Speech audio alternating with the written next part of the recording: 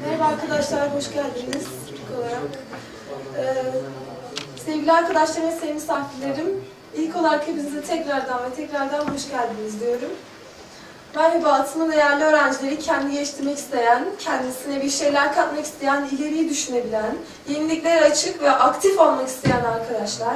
Üniversite eğitimimizde konferanslar, seminerler ve panellerle yaşayacağımız kariyer hayallerimize hep birlikte yaklaşacağımız Atımcı İşletme Topluluğu Konferansı'na geldiğiniz için teşekkür ederiz. Fakülte öğrencilerini ve mezunlarını bir araya gelmelerini amaçlamak, ortak bir işletme fakültesi, kültür ve bilinci oluşturmaya çalışmak, öğrenciler arasında dayanışma ve işbirliğini sağlamak amacı, sosyal yaşamlarına katkıda bulunmak, Atım Üniversitesi öğrencilerine meslek ve iş konu seçimi konularına yardımcı olacak bilgileri sağlamak için onları firma ve sektör temsilcileriyle buluşturmaktayız.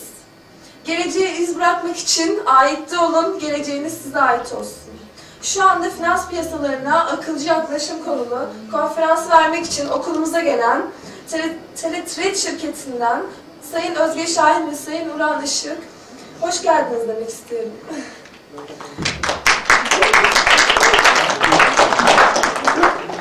Ve ilk olarak Özge Şahin Hanım'ı kürsüye davet ediyorum. Teşekkürler.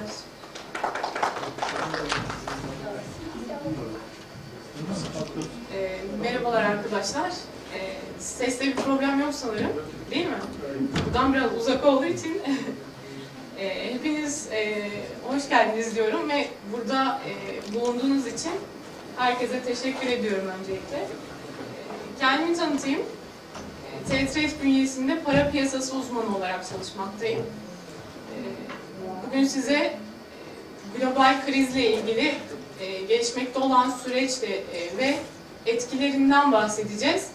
E, global krizin bildiğiniz gibi hepimizin e, artık son zamanlarda yakından takip ettiği ve sizin de bölümleriniz ve e, okuduğunuz bölümler gereği hani yakından takip etmeniz gereken konulardan bir tanesi aslında ve son zamanların e, en karlı yatırım aracı diyebileceğimiz bir piyasasından bahsedeceğiz. Nedir bu? Forex piyasası arkadaşlar. E, Forex piyasası hakkında konuşma yapacağım size. Forex piyasasını e, önceden duyanınız vardır ya da e, olmamıştır. Bu konu hakkında konuşacağız. E, sunumlara e, hazır mı?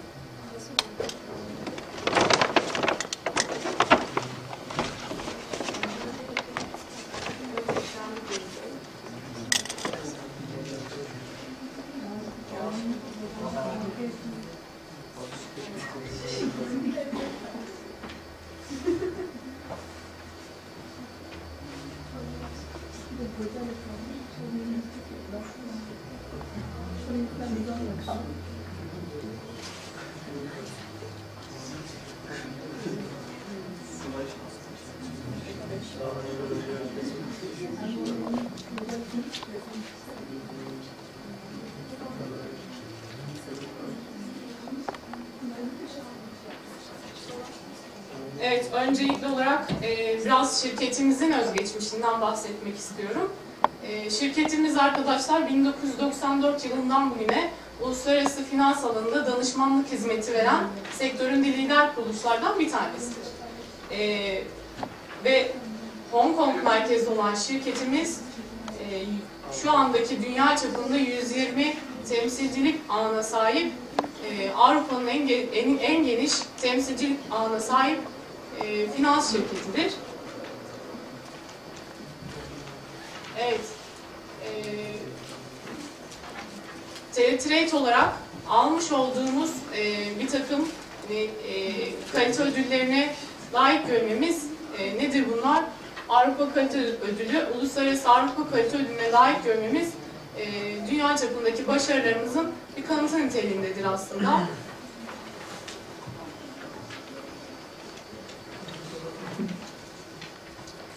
E, Şirketimiz uluslararası e, finans piyasalarında sermaye yönetim imkanı sunmaktadır arkadaşlar. E, tüm finans piyasaları e, bilindiği üzere belirli kurallar çerçevesinde hareket eder. Bu kurallar göz önünde tutularak e, analizler gerçekleştirilirse oluşabilecek zararlar kontrol altında tutulabilir Bu amaçla da Teletrade e, Türkiye ofislerinde de yatırımcı ve kendi bünyesine katacağı uzman adaylarını finans piyasaları hakkında kapsamlı analiz metotları ve döviz kurlarındaki risklere karşı korunma yolları hakkında e, eğitimler vererek kendi bünyesine e, katmaya devam etmektedir. Türkiye ofislerimizden bahsedelim. Merkez ofisimiz İstanbul'da, e, Ankara ofisimiz, İzmir ofisimiz ve e, Antalya ofislerinde bu e, hizmetlerimizi sürdürmeye devam ediyoruz. Evet, sermaye yönetimi dedik. Sermaye yönetimi, e, nerelerde sermaye yönetimi gerçekleştirebiliriz? Bunlardan birkaç tanesini örnek vermek gerekirse, işte vadeli opsiyon borsası dediğimiz mal piyasalarında e, sermaye yönetimi. Vadeli opsiyon borsası e, bilindiği üzere sizin de bildiğiniz gibi 2005 yılında İzmir'de faaliyete geçmiştir. E, ve futures ve opsiyon sözleşmelerinin elektronik ortamda alınıp satıldığı e, bir piyasadır. Borsalarda hisse senetleri. Belki de içinizde hani e, borsada hisse senetlerini alım satım yapan e, küçük çapta arkadaşlar olabilir ya da çevrenizde vardır. Bu da bir sermaye yönetim imkanıdır. E, bankalarda hazine bonusu, devlet tahvili, hani DIPS dediğimiz e, devlet iç borçlanma senetleri, repo vesaire sermaye yönetimi imkanı bulabileceğimiz diğer bir ortam. E, ve para piyasaları. İçinde bulunduğumuz sermaye yönetimini gerçekleştirdiğimiz piyasa para piyasalarında yapıyoruz arkadaşlar sermaye yönetimimizi.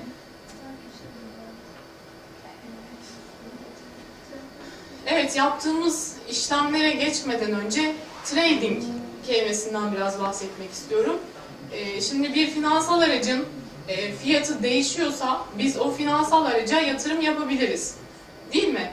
Ee, bunu örnek vermek gerekirse şu anda mesela ev fiyatlarının çok düştüğünden, gayrimenkul fiyatlarının çok düştüğünden, işte araba fiyatlarının e, çok düştüğünden bahsediyoruz.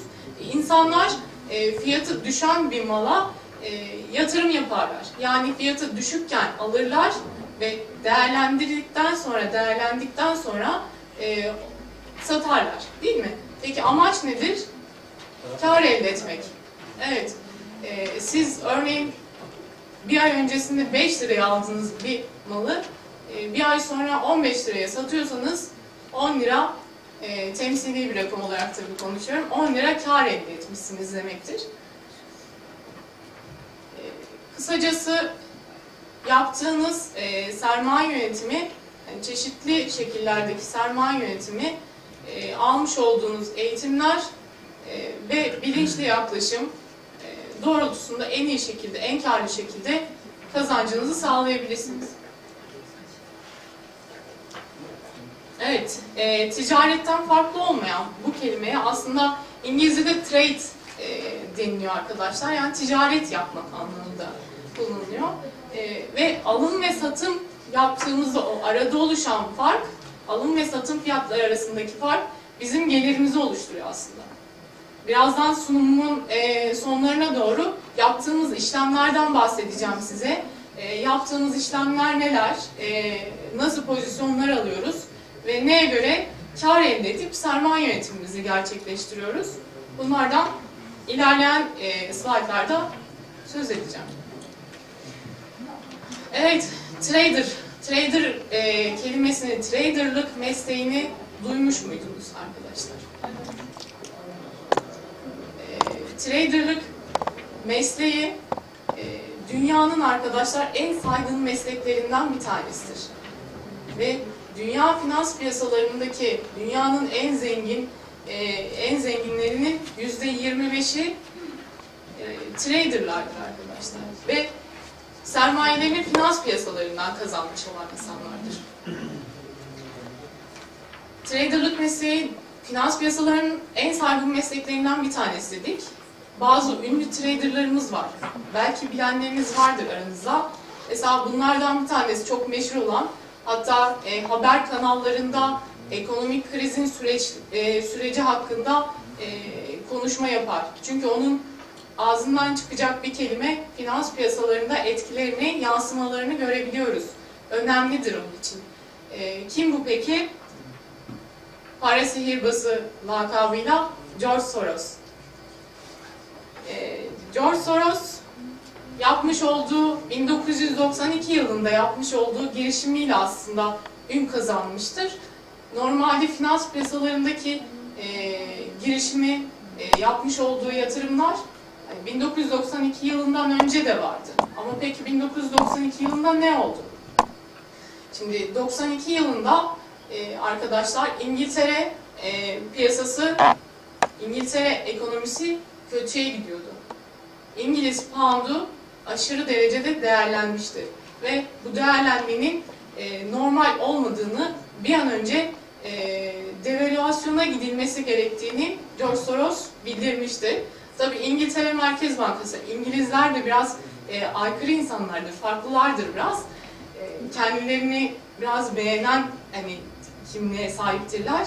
George Soros'un e, bu sözüne pek aldırış etmediler aslında. Yani İngiliz poundunun, İngiltere'nin e, bir an önce hani devalüasyona gidip e, ülkenin ekonomisini e, stabile bir hale getirmesi gerektiğini söylemişti. Tabii buna aldırış etmediler. E, George Soros da peki ne yapmış e, o zamanlar? Eğer demiş İngiltere Merkez Bankası'na siz devalüe etmezseniz ben de ona göre pozisyon alacağım e, ve e, bunu zorda bırakacaksınız bana demiş. E, 1992 yılında İngiliz pounduna karşı Alman marka satın alarak e, 20 milyar dolarlık kazanç sağladı arkadaşlar. E, bunu e, İngiliz poundunu hatta borçlanarak almış. E, borçlanarak aldıktan sonra gitmiş Alman markı, hani İngiliz poundunu e, satmış ve karşılığında Alman markı satın almış. Yani yapmış olduğu kısacası işlem aslında trade. Yani George Soros e, bizim ünlü traderlarımızdan bir tanesi. Diğer bir e, traderımız aslında dünyanın en zengin adamı e, kim diyebiliriz? Yani kim diyebiliyordunuz diyelim. Öyle soralım. Bill Gates diyebilir değil mi? Evet. 2008 Wikipedia e, verilerine göre şu anda dünyanın en zengini Warren Buffett. E, Warren Buffett da yapmış olduğu girişimlerle, finans piyasalarındaki girişimlerle e, sermayesine sermaye katmış arkadaşlar. Tabii bu insanlar neden bunlar örnek? Bunlar hani büyük e, kazanç sahibi, bu e, dünyanın en zengini olmaları lakaplarıyla aslında örnek veriliyor. Yok mu tabii diğer traderlarımız? Tabii ki de var. Bizim bünyemizde çalışan ve yurt dışındaki ofislerimizde çalışan çok çok iyi traderlarımız var. Bunlar sadece ün kazanmış traderlar. E, Warren Buffett'ın 2008 verilerine göre e, sermayesi 62 milyar dolar arkadaşlar. E, milyar dolarlardan bahsediyoruz. Azımsanmayacak bir rakam gerçekten de. E, Warren Buffett çok ilginç. E, küçükken daha 6 yaşındayken baba e, büyük baban e, büyük babasının e, marketinden almış olduğu altılı Coca-Cola e, şişelerini satarak 5 sente satarak e, aldığından daha fazla bir fiyata satarak o zamanlar para kazanmaya başlamıştı. Daha 6 yaşındayken tabii bu e, girişimlerine hani ufak da olsa, küçük de olsa başlamış. E, 2002 yılında ilk defa para piyasalarında pozisyon almış arkadaşlar Warren Buffett. Ve 12 milyar dolarlık servetini e, 20 milyar dolara çıkarmış. Ve bu daha sonrasında tekrardan e, yapmış olduğu sermaye girişimleri, finans piyasalarındaki yapmış olduğu yatırımlarla e, şu andaki servetini 62 milyar dolara çıkarmış. Şu anda zaten dünyanın en zengin adamı. Evet, Forex piyasası. Şimdi Forex piyasası şu anda e, Türkiye'ye yeni duymaya başladığınız, duymaya başladığınız diyelim e, hatta e, bir kelime. Şimdi para piyasalarında önemli bir rolü var. Peki Forex piyasası e, nedir? Şimdi Forex neyin kısaltılmışından geliyor öncelikle. Foreign Exchange kelimelerinin kısaltılmışıdır Forex. Bazen bunu FX diye de duyabilirsiniz. E, son zamanlarda bayağı bir e, gündeme gelmeye başladı. Aslında Forex piyasasının Türkiye'ye girişi 5-6 yıllık bir geçmişi var. Ama son 1-2 senedir e, büyük bir e, patlama içerisinde ve e, biz bu patlama e, içerisinde en iyi şekilde traderlarımızı yetiştirerek ofislerimizde e, piyasaya hazırlıklı birer uzman olarak çıkmalarını sağlıyoruz. E, Forex piyasasının geçmişine bakacak olursak kısaca 1976 yılında aslında e, dünya ekonomileri e, dalgalı kura geçmesiyle oluşan ve ülkelerin para birimlerinin e, değiştirildiği, değiştirildiği piyasadır aslında. E, ilk olarak döviz piyasası yani ülkelerin yabancı iki ülkenin para birimi arasında al-sat anlık ama anlık al-sat işlemlerinin yapıldığı piyasadır. Sonradan gelen talepler doğrultusunda e, çeşitli e, emtia, işte petrol, altın e, gibi değerli madenlerin alınıp satıldığı e, ve e, çeşitli hisse senedi, Amerikan hisselerinin alınıp satıldığı bir piyasa haline gelmiştir. Forex piyasasının işlem hacminden bahsetmek gerekirse şu andaki e, 2008 verilerine göre e, günlük işlem hacmi 4,5 trilyon dolar. Hani bunu kıyaslamak gerekirse büyüklüğünün ne kadar büyük olduğunu söylemek, bahsetmek gerekirse e, İMKB'nin günlük işlem hacmi 2,5 milyar dolar. E, gene vadeli opsiyon borsasının 2007 verilerine göre günlük işlem hacmi 160 e, pardon 117 milyon Türk lirası. E, tabii bunlarla hani kıyaslama büyüklüğünü anlamak açısından kıyaslamak gerekiyor.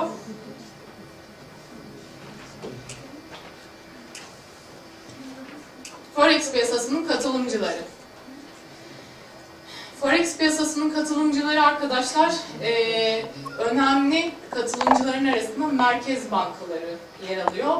E, ülkelerin merkez bankaları, daha sonra özel bankalar. Özel bankalardan örnek vermek gerekirse HSBC, e, UBS, JP Morgan e, gibi vesaire özel bankalar Forex piyasasının ana katılımcılarını oluştururlar. Ve bu, e, ve bu katılımcılar aslında fiyat oluşumunu sağlayan katılımcılardır.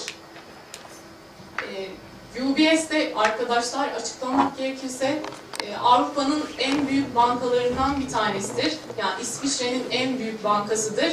Ve Teletrade UBS ile iş ortaklığı ile e, bu girişimlerini para piyasalarındaki e, hizmetlerini sürdürmektedir. Ve diğerlerinden bahsetmek gerekirse yatırım ve hedge fonları diyebiliriz. Emeklilik fonları, yatırımcılar, aracı kurumlar, e, ithalat, ihracat yapan şirketler, tabii ithalat, ihracat yapan şirketler e, yapmış oldukları hizmetler, vermiş oldukları hizmetlerde e, şimdi kur risklerinden korunmak isterler. Teletrade'de bünyesinde çalıştırdığı uzmanlarını e, bu konuda şirketlere en iyi şekilde danışmanlığını vererek e, hizmetlerine devam eder. Evet, interbank piyasasının işleyişi. Şimdi Forex piyasasının aslında e, iki bileşenden oluştuğunu ve bu bileşenlerinden bir tanesi interbanktır. Bizim işlemlerimizi gerçekleştirdiğimiz piyasa interbank piyasası. Interbank piyasasının işleyişi ise şu şekilde banka dediğimiz bankaları görüyoruz. Forex piyasasının ana katılımcılarından olan özel bankalar. İşte HSBC gibi, UBS gibi, JP Morgan gibi e, bankalar, bankalarda oluşan arz ve taleplere göre oluşan fiyatlanmalarla e, fiyatlar iletişim ağları dediğimiz işte rotor stealing dediğimiz iletişim ağlarına fiyatlar gelir. Fiyatlar gelir, daha sonra müşteri aslında yatırımcılar, bizim yatırımcılarımızdır. Yatırımcılar e, Teletrade ile buluşurlar ve daha sonrasında yapmış oldukları traderlar vasıtasıyla yapmış oldukları işlemler rotor stealing tarafından gelen fiyatlarla birlikte elektronik ortamda e, online olarak uluslararası piyasalarda gerçekleşen işlemlerdir. Evet, Forex piyasasının çalışma saatleri. 5 gün 24 saat açık arkadaşlar. Tabii e, bu ne demek oluyor? 24 saat çalışıyoruz demek olmuyor tabii ki de. 5 gün 24 saat açık olması bizler için büyük bir avantaja dönmüş bir fırsat. Peki nasıl? Türkiye olarak aslında çok güzel bir coğrafi konumda bulunuyoruz. Coğrafi konum gereği Asya seansı şimdi gece 11'de açılır, 23'te ve sabah 10'da kapanır. Avrupa seansı gene sabah e, biz uyandıktan sonra diyebiliriz. Uyanırız, Avrupa seansı açılır. Daha sonra öğleden sonra tam işlerimizin yoğun olduğu zaman aslında Amerika seansı. Amerikan borsaları açılınca e, piyasalarda hareketlilik çok daha fazla artmaya başlar. Bu tabi seans seans olması bizim her seansta işlemlerimizi gerçekleştireceğimiz anlamına gelmez.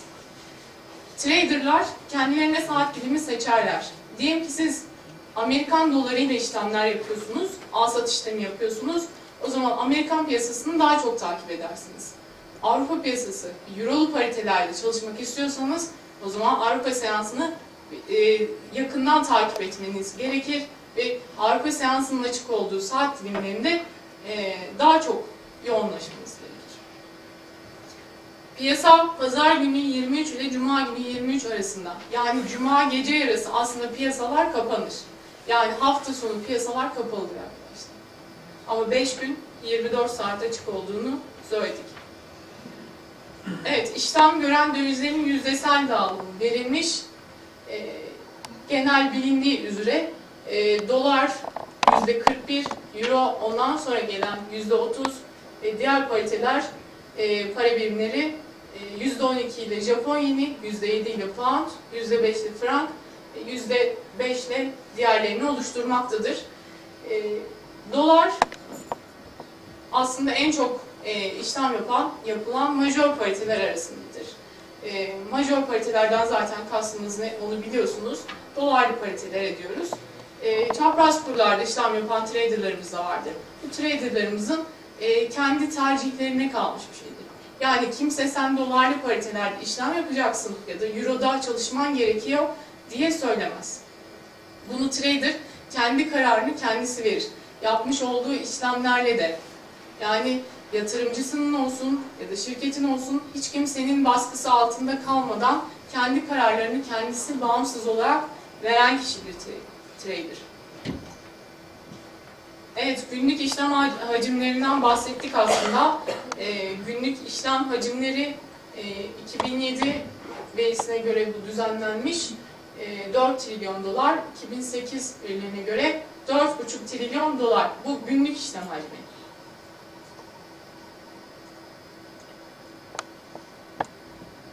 Evet, e, para piyasalarında çalışan bir uzmanım.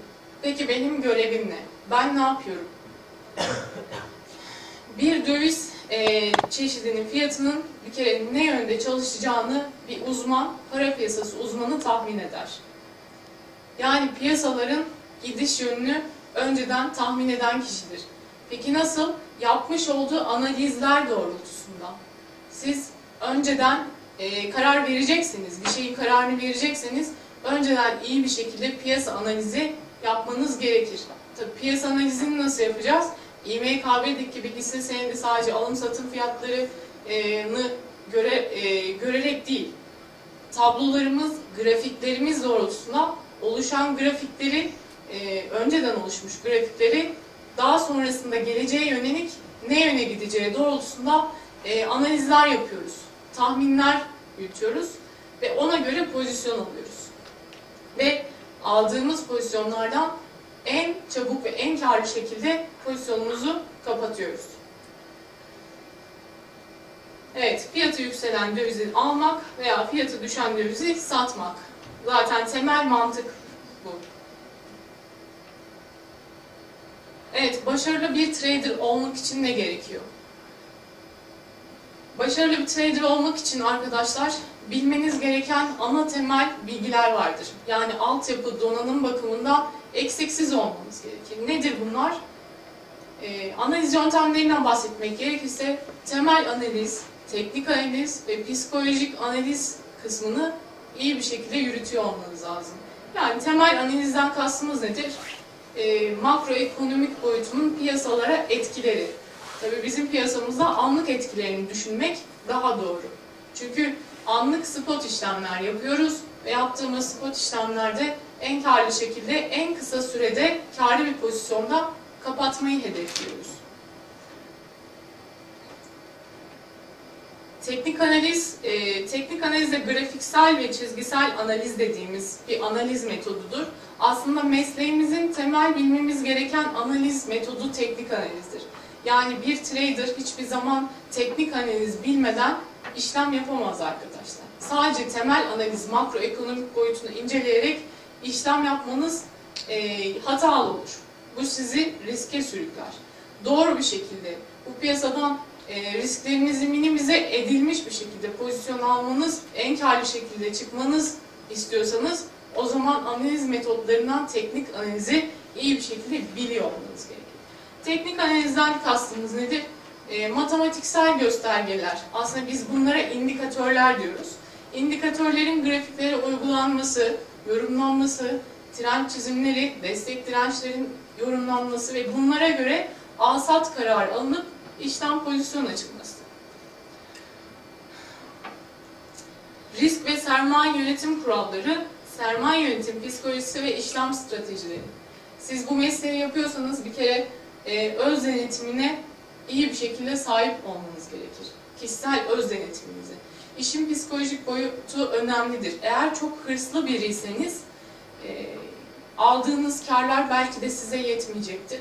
Yani daha çok almak isteyeceksinizdir. Piyasadan daha çok kazanmak isteyeceksinizdir. Aslında bu hatalı bir davranıştır. Yani e, piyasada ne kadar, piyasayla ne kadar iddialaşırsanız e, bir o kadar e, risklerinizi e, çoğaltmış olursunuz. Onun için e, mantıklı kararlarla, mantıklı pozisyonlarda e, doğru işlem karar verip en karlı şekilde piyasada çıkmaktır. Evet, grafikler dedik. Fiyat oluşum grafikleri dedik. E, pariteler üzerinde, yani kurlar üzerinde e, çeşitli işlemler yapıyoruz. Bunlara örnek vermek gerekirse. E, grafiklerimizden bir örnek, kullandığımız grafiklerden. Euro dolar paritesi günlük grafiğini görüyorsunuz e, arkadaşlar. E, günlük grafiğine göre bir fiyat oluşumu var ve fiyat oluşumu üzerinde bazı analizler yapılmış. Görmüş olduğunuz çizgiler aslında altta görmüş olduğunuz diğer bir grafik bizim teknik analizimize giriyor. MACD duymuşsunuzdur belki. E, MACD indikatörümüz, matematiksel göstergelerimiz e, bunlar bize ilerisine yönelik sinyaller veren matematiksel göstergelerdir. Bunları kim oluşturmuş? Bizim gibi bu piyasada yer alan diğer uzmanların e, bazı bir takım formüllerle geliştirdikleri matematiksel göstergelerdir. Bunlar bize nasıl bir yarar sağlıyor?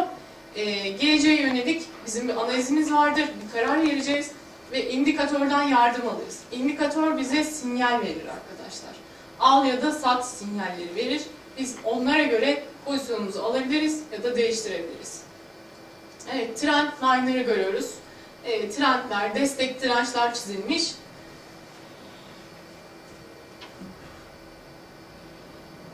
Evet, pound dolar. E, bu sefer pound dolar paritesi günlük değil 4 saatlik grafik. 4 saatlik grafik üzerinden yapılmış bir teknik analiz çalışması aslında. Çalışmaya göre bazı indikatörler kullanılmış. Mavi eğriyle gördüğünüz bu indikatör vasıtasıyla e, al ya da sat sinyalleri alınarak elde edilen karlar yazılıyor. Evet 8200 dolarlık bir kar yukarı çıkış hareketini e, yakalanmış. Aşağı satış hareketi, son fiyat hareketine göre de e, pound dolarda bir satış verilmiş ve e, 3900 dolar yaklaşık olarak e, bir gün, bir buçuk gün içinde alınan karlar. Evet, asıl ana platformumuzun görünüm şekli bu şekilde. Yani platformumuzda analiz yapmadan önce e, kendi platformumuzu açarız. Bu şekilde bir görünüm gelir. Bu reel hesap, gerçek hesaptır arkadaşlar. E, Euro dolar paritesinde e, yapmış olduğumuz bir çalışmanın yani işlemin aslında görüntüsü. Gerçek işlem Euro dolar 1 saatlik grafiğe göre işlem gerçekleştirilmiş. Canlı olarak işlem var. İlk açıldığında işlem eksi 40'taydı. Saate bakıyoruz 17.30. Sol tarafta gördüğünüz e, piyasa gözlemi denilen kısım aslında bizim para birimlerimizdir. Pariteler dediğimiz. Daha sonra 4 dakika sonra 17.34'te ki karı görüyoruz. 130 dolar kâra çıkmış. E, yaklaşık olarak 4 dakika içerisinde 130 dolar. Bu aslında bizim gördüğümüz en küçük rakamlar diyebiliriz. Çünkü birkaç saat içerisinde bu piyasada binlerce doları gördüğümüz ve kapattığımız pozisyonlar oluyor. Aylık yüzde binlere varan karları görebiliyoruz. Bunları yapmak zor mu? Hayır, tabii ki de değil. Doğru bir şekilde analizinizi yaparsanız, doğru stratejik kararlar verirseniz e, kazanamayacağınız diye bir şey yoktur. Zaten e, Türkiye'ye bakacak olursak, Türkiye için yorumlayacak olursak dolar 1.35'lerdeydi değil mi? Daha sonra ne oldu? 1.82'lere kadar çıktı. Peki bunu önceden tahmin eden var mıydı? Evet. Biz bunu tahmin etmiştik arkadaşlar. Biz bunu biliyorduk ve ona göre pozisyonumuzu aldık. Yani elimizdeki Türk lirasını önceden yani dolar ucuzken dolara çevirdik.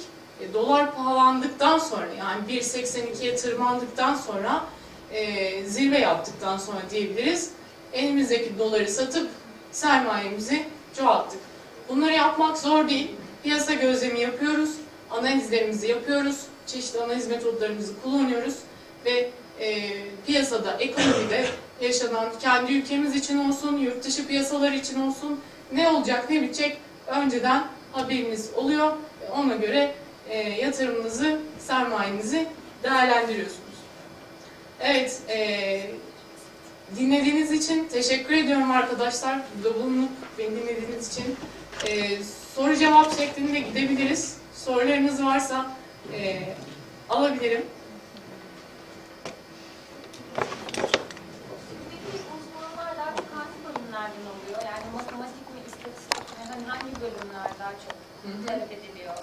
E, şu şekilde genellikle biz işe alım sürecinde e, iktisat işletme e, fakültelerine biraz daha e, öncelik veriyoruz.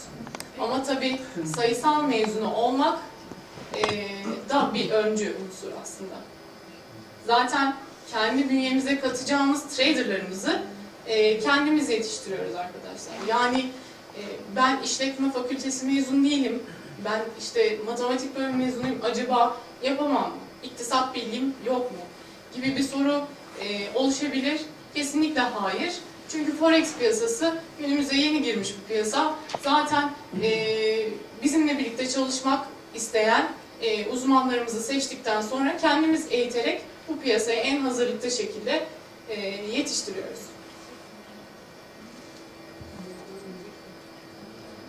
Bu karlar neye göre, hangi ne kadarlık bir fiyatın karlarıydı? Yani hani Evet, ona tekrardan gelelim.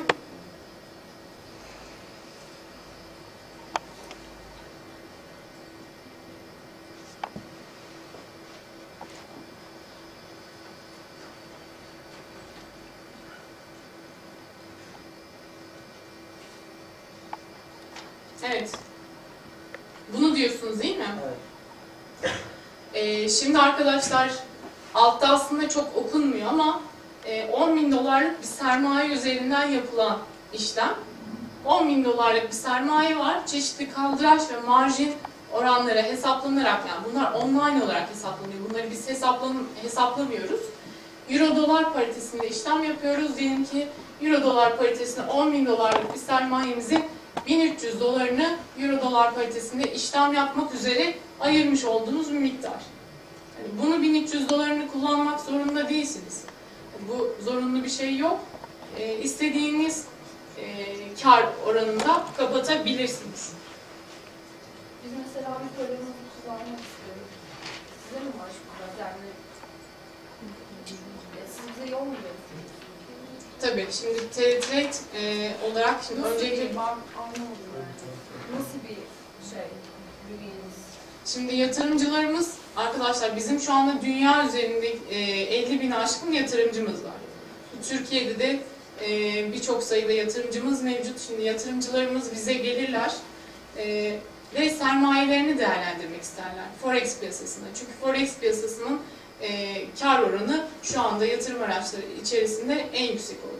Yatırımcılarımız bize gelirler, e, Forex piyasasında sermayelerini yönden e, çalıştırmak isterler.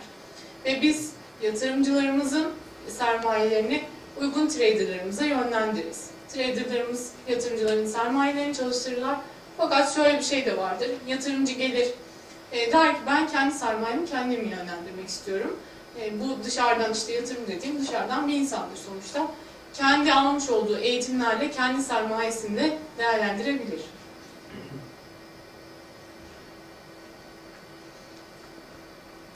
Evet, e, soru yok sanırım. Var mı? Tabii buyurun. Ee, Biraz önce şey demiştiniz ya biz e, dolar paritelerini te- e, teknik analizlerle işte bakıyoruz ona göre yatırımımızı yapıyoruz. da. Peki Evet. önümüzdeki uzun vadede şu anda yaptığınız analizler var mı? Yani yine bu yatırımı yatırımını neye göre yapacaksınız? Yani dolar paritelerinde ne bekliyorsunuz ilerisi için? Ee, şöyle bir şey, bu e, tabii ki de yapmış olduğumuz e, analizler e, genellikle bizim uzun vadeden başlayarak orta vade ve kısa vade olmak üzere kısım kısım yaptığımız analizlerdir. Şimdi Forex piyasası arkadaşlar spot işlemlerin yani anlık işlemlerin gerçekleştirildiği bir piyasadır. Yani siz hisse senedindeki gibi bir hisseyi alıp hani iyi bir şekilde kar elde etmek istiyorsanız belki de hani bir sene, bir buçuk sene elinizde tutmanız gerekir o hisseyi. E, Forex piyasasında bu kadar uzun vadede pozisyon tutulmaz. Yani pozisyona girersiniz, bir saat içerisinde, iki saat içerisinde, bilemediniz dört saat içerisinde çıkarsınız. Uzun vadede pozisyon almazsınız. Uzun vadedeki beklentileriniz vardır fakat işlemlerinizi kısa vadede gerçekleştirirsiniz. O da bir saatte, dört saatte gerçekleştirilen işlemlerdir. Bu işlemler esnasında portföyler oluşturuluyor mu? Yani sepetler. E, portföy oluşturuyorum derken, Farklı şeyler, e, yani sadece dolar değil de euro, yani euro falan hepsinden farklı şeyler alınabiliyor mu? Tabii tabii. istediğiniz paritede işlem yapabilirsiniz. Sadece dolarlı paritelerde ya da euroda değil. Örnek olarak euro dolar ya da pound dolar verilmiş. Ee, solda gördüğünüz pariteler piyasa gözlemi kısmında birçok para birimimiz vardır. Mesela dolar kanada doları, euro pound, Danimarka kronuna, Güney Afrika randına kadar işlemleri gerçekleştirebilirsiniz. Bizim tercihimiz genellikle majörler üzerindedir. Yani e, bir euro dolar paritesini e, pound franktan daha çok tercih ederiz. Çünkü bilinen bir para birimidir ve takip etmek, ekonomistlerindeki gelişmeleri takip etmek daha kolaydır o bakımdan.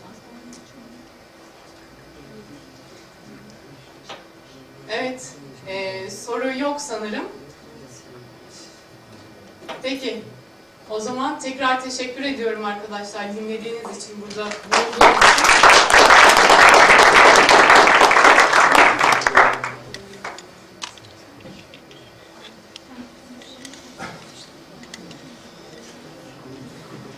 Evet, e, uzmanımız, para piyasası uzmanımız Sayın Uran Işık sizlerle biraz e, ekonomik krizle ilgili, global krizle ilgili biraz e, konuşma yapacak kendisini davet ediyorum.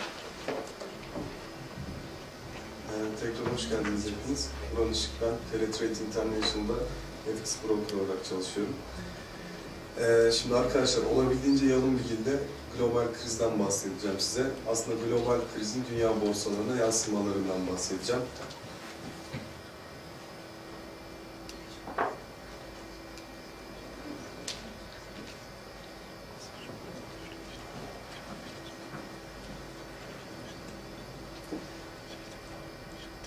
Ee, hepinizin bildiği gibi 2008'in yaz aylarından bu yana mortgage kriziyle başlayan e, ekonomik kriz hızla etkilerini sürdürmeye devam ediyor.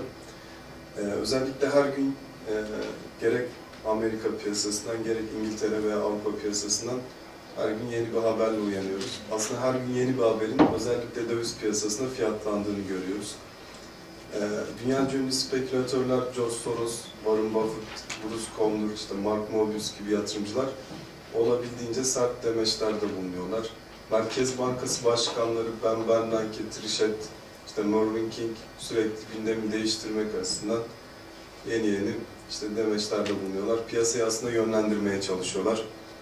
Şimdi ben e, dediğim gibi dünya borsalarında global krizin yansımalarını size grafiklerde göstermeye çalışacağım.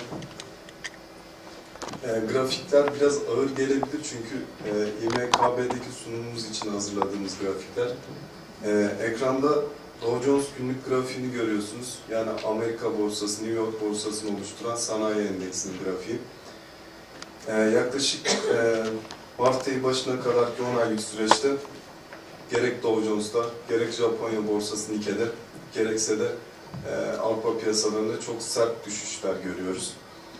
E, 2008 Mayıs ayından itibaren 10 aylık süreçte e, Dow Jones'un yaklaşık %50 değer kaybettiğini görüyoruz. 2008 e, Haziran ayında 13.200 seviyelerinden işlem gören endeks Mart ayı başında 6.500 seviyelerini denedi. Esasında şu an işte gerek yazılı gerek görsel basında bu seviyelerin dip olup olmadığına yönelik tartışmalar devam ediyor. Ee, 13.000 seviyeleri e, endeks 13.000 seviyelerini test ettikten sonra yaklaşık 3 aylık süreçte e, 10.800 ve 11.800 arasında bir bant hareketi yarattı. Yani bir konsolidasyon hareketiydi. Ancak ondan sonra gerek işte bankalardan gerekse e, bu piyasayı yönlendiren otomotiv devlerinden gelen açıklamalar piyasalarda sert düşüşlere neden oldu. E, 6500 seviyesi Dow Jones'un son 12 yılda gördüğü en düşük seviye. Yani global krizin piyasaları nedenle etkilediğini görüyorsunuz. E, esasında benzer bir tabloyu e, Nasdaq Teknoloji Endeksi ve S&P 500 için de söyleyebiliyoruz. Nasdaq ve S&P de New York borsasını oluşturan endeksler. Ee, Nasdaq Teknoloji Endeksi 2008 Haziran ayında 2500 seviyelerini test etmişti. Ama Mart'ın başında 1270 seviyelerini gördüğünü görüyoruz. Yani bu Nasdaq Teknoloji Endeksinin bu denli satış görmesi özellikle teknoloji hisselerinde görülen talep daralmasının da bir kanıtı. Ee, aynı şekilde S&P 500 800 seviyelerini kırabilir mi tartışmaları içinde 670 seviyelerini test ettik. Bu seviyeler gerçekten önemli seviyeler arkadaşlar. Yani global piyasanın içinde bulunduğu durumu bize çok net bir şekilde özetliyor. Ee, sonuç olarak son birkaç aylık toparlanma haricinde endekslerde özellikle Amerika borsasında çok sert satışların geldiğini görüyoruz. Ee, esasında Nasdaq, S&P ve Dow Jones'taki hareketi Avrupa borsalarında da görmemiz mümkün. Özellikle Alman Bileşik Endeksi DAX e, çok büyük hacimde satış görüyor. Özellikle BMW, UBS ve Credit Suisse'den gelen bilançolar DAX'teki satış hareketini sürekli destekliyor. E, Mart ayı başında DAX 2004 yılından bu yana gördüğü en düşük seviyeleri test etti. Yani Dow Jones Sanayi Endeksinde olduğu gibi %50'den fazla değer kaybetmiş durumda. Tabi bu sadece Alman Bileşik Endeksinde değil, Fransa Bileşik Endeksi, CAC 40 ve işte İngiltere borsası FTSE ile de aynı tablo var. Yani global kriz sadece Amerika'nın, sadece İngiltere'nin veya sadece Avrupa Birliği'nin krizi değil. Bu kriz hepimizin krizi. Şimdi özellikle yazılı basında ve görsel basında Amerika'nın çok büyük bir buhran içinde olduğunu izliyoruz sürekli. Şimdi arkadaşlar, evet gerçekten bir kriz yaşıyoruz ama bu krizi en sert şekilde yaşayan Amerika değil. Eğer krizi bir yerlerde arıyorsak bunu Japonya'da görmemiz gerekiyor. Çünkü e, çok basit bir örnek vermem gerekirse 1989 yılında e, Nikkei'de yani Japonya borsasında işlem gören hisseler dünyada işlem gören hisselerin yaklaşık %50'sine tekabül ediyordu. Bugün baktığınızda %12 ila %13 seviyelerinde. Yani Japon borsasında inanılmaz bir talep daralması var.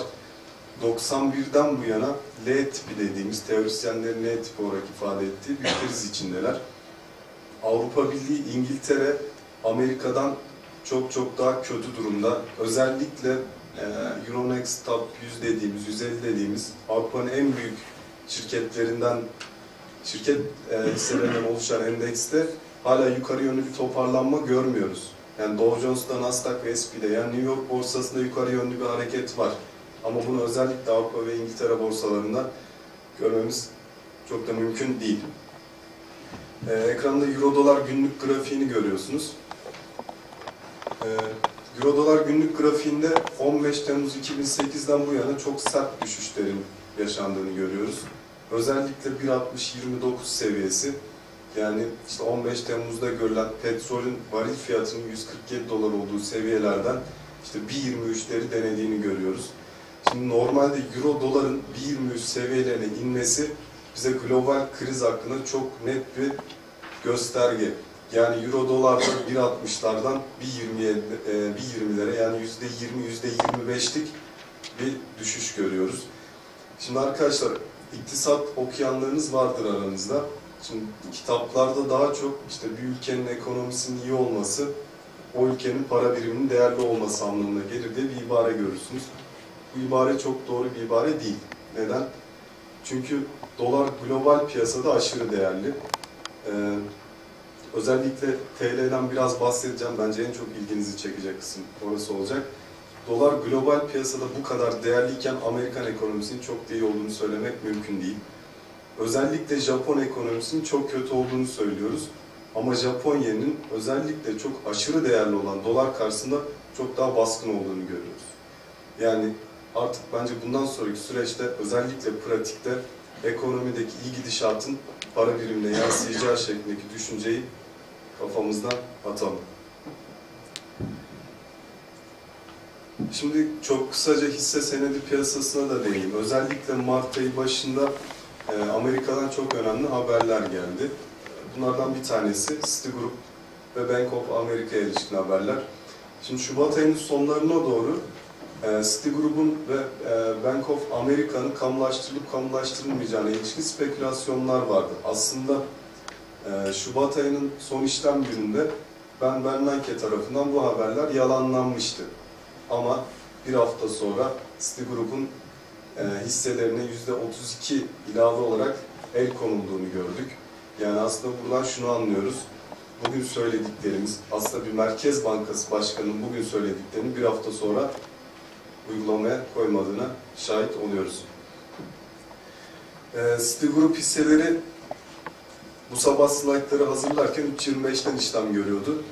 Citigroup e, geçtiğimiz Cuma günü bilançosunu açıkladı. Aslında bilançosu beklenenden çok daha iyi geldi. Yani biz Citigroup'tan hisse başına 2 ila 3 dolarlık bir kayıp beklerken, yani Dov Global'den Citigroup'un çıkacağını beklerken işte çok sert satışların gelmediğini gördük. İlk çeyrek bilançosu eksi 1.59 milyar dolarlık bir bilançoydu. Bu bilançoyla birlikte Citigroup hisselerine olan talep daralması bir süre daha devam edebilir. E, aynı şekilde EIG, şimdi EIG ile ilgili çok kısa bir şey söyleyeyim. E, 2008 yıl zararları 99.3 milyar dolar.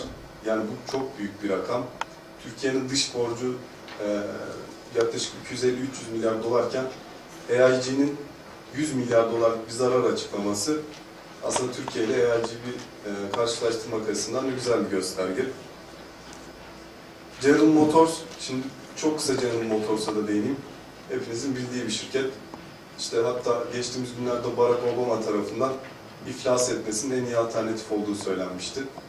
General Motor'da işte her gün 3000 5000 kişi işten çıkarılıyor. Artık Dow Global'de General Motor hisseleri işlem görmüyor. Ve büyük ihtimalle Haziran başında iflaslarını açıklayacaklar. Ee, şimdi dolar TL'de bence dediğim gibi en çok ilginizi çekecek kısım. Dolar TL yaklaşık 2008 Ağustos'ta 1.15-1.35 bandında çok e, sıkıcı olduğunu düşündüğümüz bir hareket gerçekleştirdi. Ondan sonra yukarı yönlü bir rally gördük. Ee, Özge Hanım'ın söylediği gibi 82'den ters dönüş oldu. Bu dönüşü neye bağlıyoruz? Tabii ki Merkez Bankası'nın öncelikle döviz satım ihalelerine. Ama ondan önemlisi özellikle Durmuş Yılmaz'ın bu süreçte yaptığı konuşmalara bağlıyoruz. Şimdi dolar TL 1.80'lerdeyken Durmuş Yılmaz'ın bir konuşması vardı hatırlıyorsanız. Bu seviyelerden dolar alacaklar, oluşabilecek zararı göze alsın demişti. Şimdi arkadaşlar günümüz piyasasında medyayı kullanmak gerçekten çok önemli. Eğer siz Milliyet'te veya Hürriyet'te veya CNBC'de bu seviyeden dolar alacaklar, zararı göze alsın şeklinde başlık atıyorsanız vatandaş cebindeki doları tutmamakta gayet haklı. Yani önemli olan Türkiye'de piyasayı yönlendirebilmek. Döviz satım ihalelerinin dolar TL üzerinde yarattığı etki çok büyük bir etki değil. Ama buradaki hepimiz aynı haberi duyup onunla birlikte trade yaparsak, yani pozisyon alırsak dolar TL'deki hareketi bizler yönlendirebiliriz. Şimdi e, dolar TL dün ben yazımı yazarken 1.65 daha sonra 1.72 seviyelerini test edilebilir şeklinde yazacaktım. Yazının sonunda zaten dolar 1.65'i görmüştü.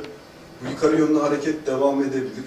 Tahmin ediyorum dolar TL ile ilgili sorularınız da gelecektir. Birazdan soru cevap şeklinde cevaplayayım ben. Aynı şekilde Euro TL'de de yukarı yönlü bir hareket görüyoruz. Şimdi arkadaşlar dediğim gibi özellikle yazılı basında herkes dolardan bahsediyor. Ama dolar bu kadar konuşulurken Euro'dan bu kadar bahsedilmemesi aslında çok ilginç. Çünkü e, global piyasada Euro dolar karşısında gün geçtikçe değersizleşiyor.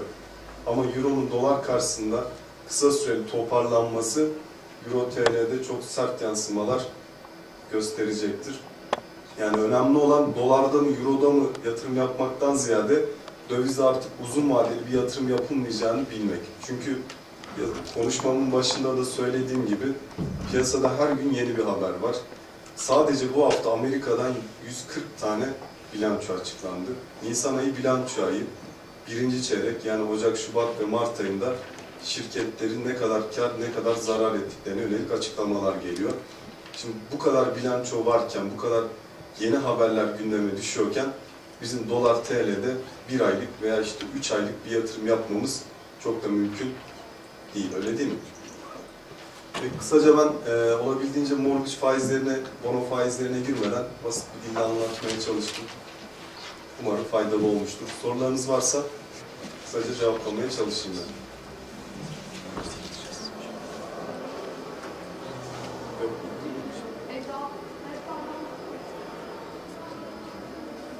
Dolar şu anda yükseliş mi göster gösterecek müddet yoksa hani demin kestiğimiz kesim anlamadım.